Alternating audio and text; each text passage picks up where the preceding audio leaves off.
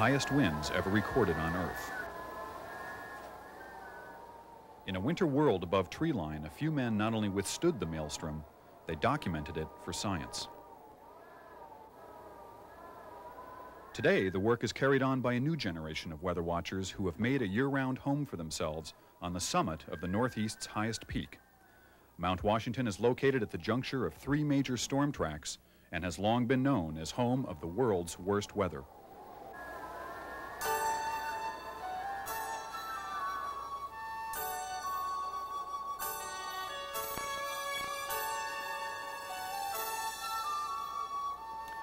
There is a certain majestic beauty to New Hampshire's presidential range at any time of the year, but it is during the winter that nature's elements work their magic. Creating surreal sculptures and landscapes that literally and figuratively take one's breath away. This is the world of the Mount Washington Observatory. And it has changed very little since the first pioneer observers took their measurements in 1870. An enterprising Yankee raised an observation tower on the summit in 1854, but tore it down with some help from the elements shortly thereafter.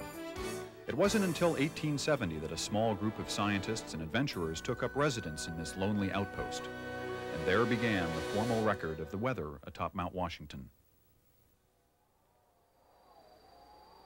Into this hostile environment came a small expedition led by C.H. Hitchcock and J.H. Huntington, hoping to survive and measure the fierce Arctic-like conditions. These weather watchers worked alone at the top of their world. As the U.S. Signal Corps kept their records from 1870 through 1892, they encountered and recorded many of the same phenomena that today's observers contend with. One journal entry in January 1875 noted a few of the special challenges that were calmly faced. January 27th, 1875. Coldest of the season, 46 below. The wind is blowing a hurricane and has done so all through the night past. Had work today to keep warm. The wind and cold penetrate every cranny. Enormous drifts of snow have formed about the building, and as fast as the passage is cut out and the windows cleared, the wind drives in snow to fill up the gaps. The coal is far from being good, is full of rocks and clinkers. Respectfully suggests that good coal and another heating stove be purchased. If such weather as this is to continue, it would be wicked to keep men in such a dwelling. Sergeant Isaac Byrd. In the summertime, the mountain was exceptionally busy, with the Mount Washington Carriage Road and Cog Railway offering travelers a chance to see the summit and surrounding peaks a first-class resort hotel, the Tip Top House, and a host of wooden structures, including the weather building, comprised this city among the clouds. The world's only newspaper ever published on a mountaintop, among the clouds, told of daily life at the grand hotels and, of course, the weather. Visitors came from around the nation to sample a taste of life above treeline.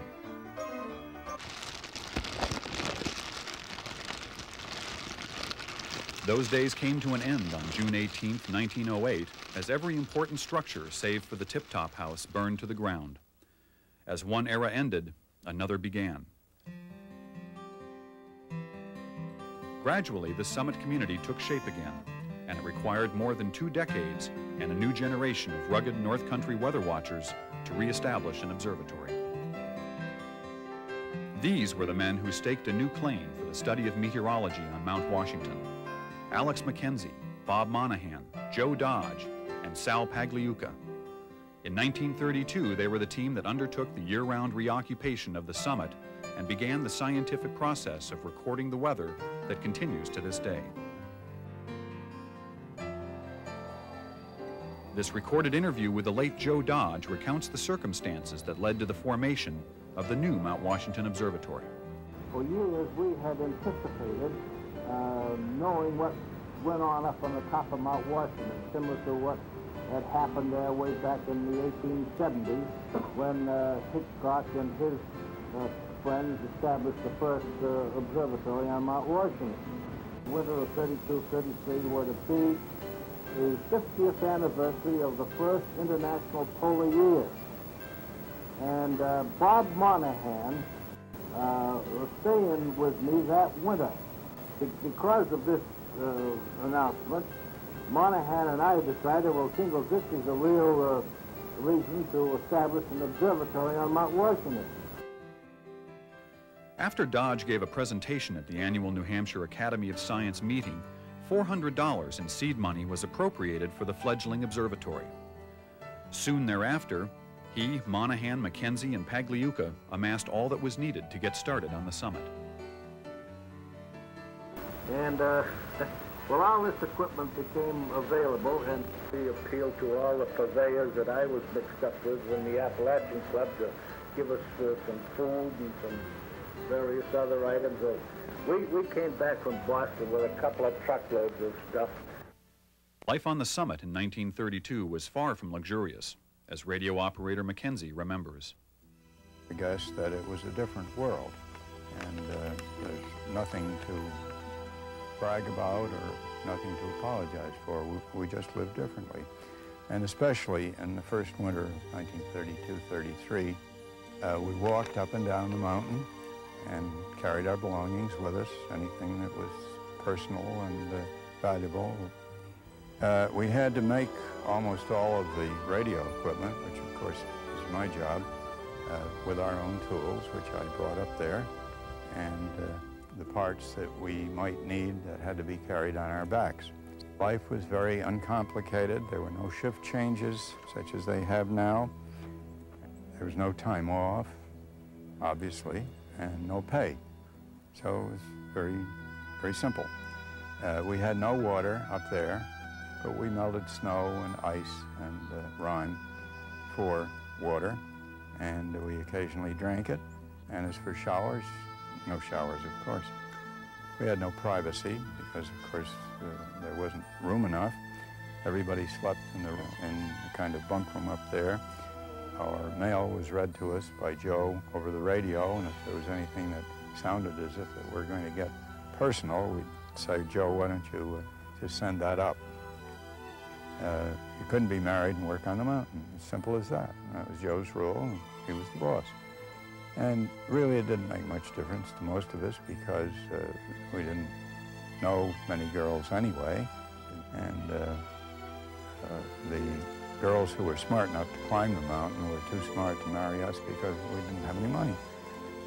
So it was during the Depression, and uh, we were very lucky, all of us, to have a place to sleep and food that we could cook up into meals. So we lived out the Depression that way. The years passed, and on April 12, 1934, the logbook entry told the story of the day that the highest winds ever recorded on Earth blew over the summit. Chief meteorologist Sal Pagliuca wrote, We had been taking turns knocking ice from the anemometer post. Shortly after 1 a.m., I set out to clear the ice again and disappeared into the fog on the roof. I felt the full blast of the 200 mile per hour southeast wind on my face. Kneeling on the platform, I pounded the foot thick ice accumulation with all my strength. But alas, I wasn't making much impression on the rough frost.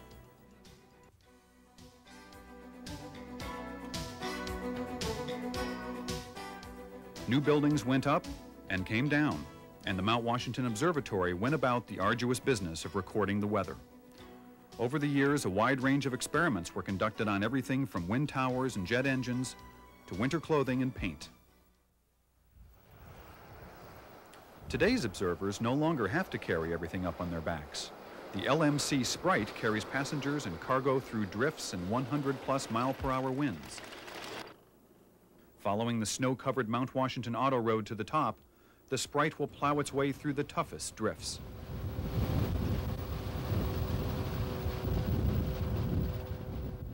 Staff meteorologist Ken Rancourt doubles as the Sprite driver, and in his more than 10 years of working on the summit, he has negotiated this small machine through some of the worst conditions imaginable. The observatory and the TV station that are both here on the summit share a problem, and that is access.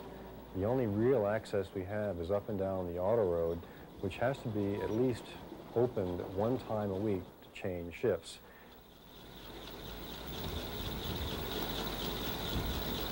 Now these snow vehicles do travel under quite adverse conditions. Uh, winds over 100 miles an hour can be handled by the machines.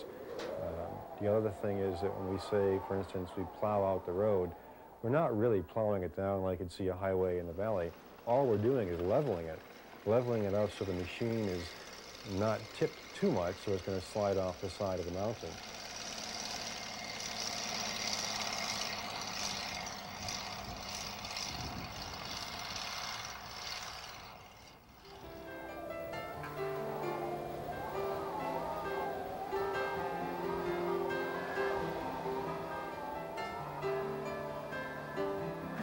Arriving at the summit on a clear winter day reveals infinite panoramas and an ice-coated world comprising the WMTW transmitting facility, the old tip-top house, and the observatory building.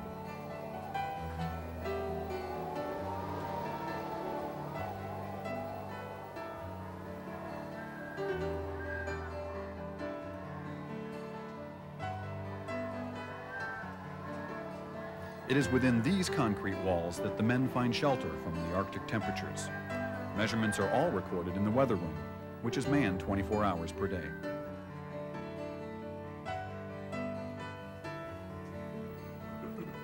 The weather room is the room where all of our outside interactions really take place. In here we record temperature, pressure, wind speed, wind direction, uh, a lot of other parameters about the building, other research programs have their data readouts in the weather room. This room is also the place from which the most listened to weather report in New England emanates. Good morning, Bob. How are you doing this morning? Our forecast for today, uh, we have a winter storm watch in effect for this afternoon through Tuesday. Today, we will be looking for cloudy skies with uh, snow and mixed rain to begin possibly uh, just afternoon time. Highs will be 35 to 40. Winds will be out of the south at 10 miles per hour. Tonight, snow may mix with rain in the valleys. The. These precision instruments measure a wide variety of conditions and are closely monitored. But every three hours, someone must get bundled up to make outdoor observations. This takes place round the clock.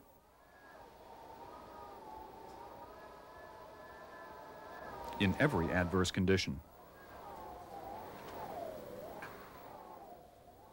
There are times when you can get hit by flying ice, by ice breaking off of the instruments, or even in the worst situation, slipping and falling and being caught outside under high wind conditions when you really can't even crawl back to the door. So knowing what's going on outside is very critical. Even in a place that can disappear before your very eyes. A rare breed of winter hiker can occasionally be spotted before vanishing into the mist.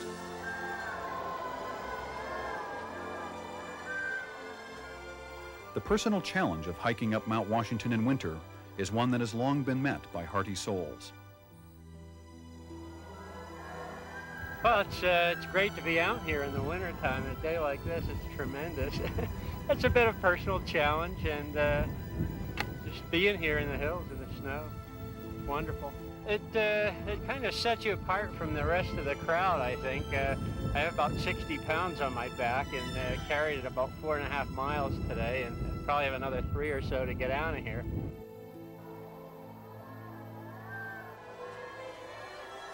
Visiting researchers occasionally use the mountain facility for special experiments. Throughout the changing conditions, fleeting glimpses of the sun can give pause for reflection to even the most scientifically minded researcher. As the weather signals indicate that a storm is in the making, the pace and the pulse of summit life quicken. Mount Washington Observatory Director, Guy Gosselin. When the weather begins to build like this, you, uh, you become very aware of uh, your dependence upon having something between you and it, some kind of cocoon, whether it's a building or uh, your clothing or whatever, something to separate you from the elements. And that, that separation, of course, is never complete, uh, so you remain always aware of the weather, that things are happening and uh, of the uh, potential in it for some kind of danger, but that's part of the attraction of working here.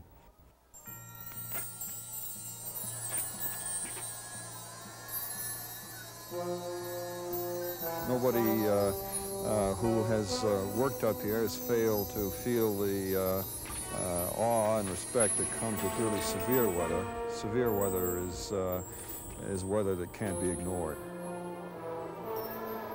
In an environment like this, you find yourself uh, very much in tune with your workmates. Uh, in one way or another, uh, you're all, in a sense, celebrating the weather. That sort of bond extends also to our membership. For one reason or another, they have either fallen in love with this place or developed some kind of affinity for it themselves and uh, feel very strongly about Mount Washington and occupy the summit more or less through us in some regard. And uh, I would have to say that, uh, uh, that that feeling extends also for us, that feeling of bond extends also for us to those individuals who were here long before us observing the weather back in the 1870s uh, and 80s and 90s. And uh, we have them very much on our minds when we uh, go about our business up here because even more than, uh, or far more, I should say, than is a concern for us, it was for them a concern to, uh, uh, to survive in a place like this.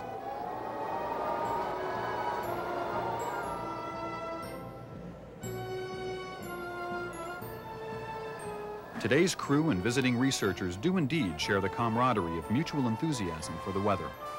The installation of an experimental new pitot tube design for measuring the winds, or the dinner table at the end of a long workday, are all part of the observatory experience.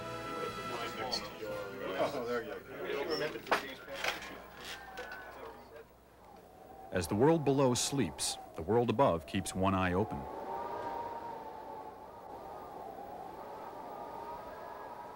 At least one observer will watch through the night, keeping his lonely vigil, listening to the voices of the wind tell their tales.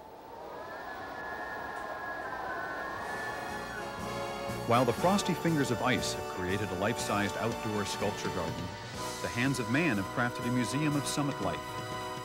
The displays include a representation of many of the creatures who have carved out a life for themselves on the slopes of Mount Washington as well as a painstakingly preserved collection of rare alpine flowers. Man-made treasures from a bygone era can also be found along the museum's walls. During a lighter moment, the OBS crew even produced a home video, which is a real takeoff on tableside service.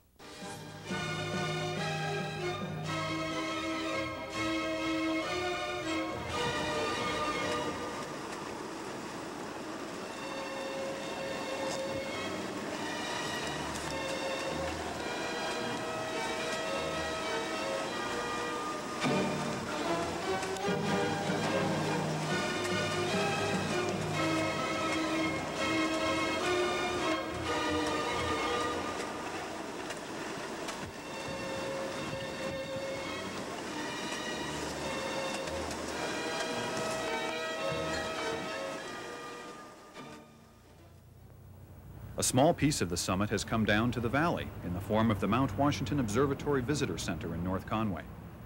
The new building makes an important collection of White Mountain historical material accessible and serves as a tangible reminder of the ongoing public service role played by this venerable mountaintop institution.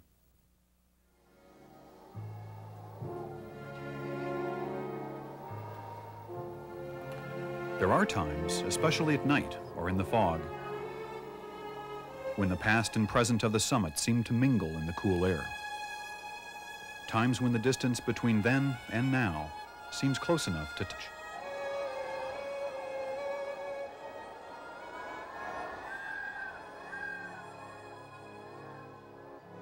There are evenings when the wind seems to carry its own memories of other observers who have made the lonely climb into the darkened sky to free the instruments of ice.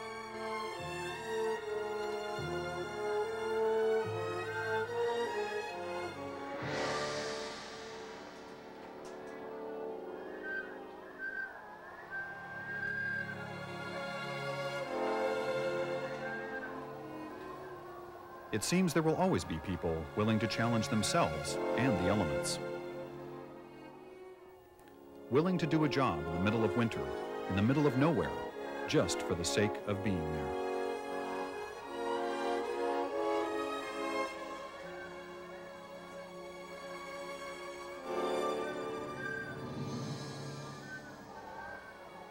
Even as you watch this program, an observer is making measurements in the world above treeline.